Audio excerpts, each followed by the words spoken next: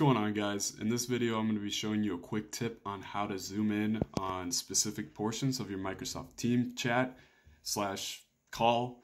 Now I apologize for the brute recording style but I actually wanted to physically show you guys how to do it.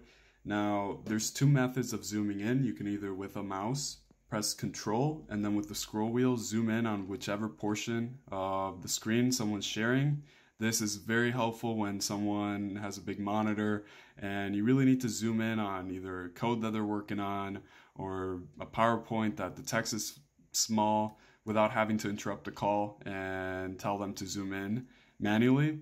And now I'm gonna show you when they stop sharing their screens, how they can, you can also zoom in on specific portions of just kind of what's going on. If you want to make sure that your background is not distracting and you could actually look at your background i find this really helpful. Your screen would appear on the bottom right and to make sure that there's nothing off about your background you can zoom in on it. And then you could also zoom in on other participants while they're on webcam.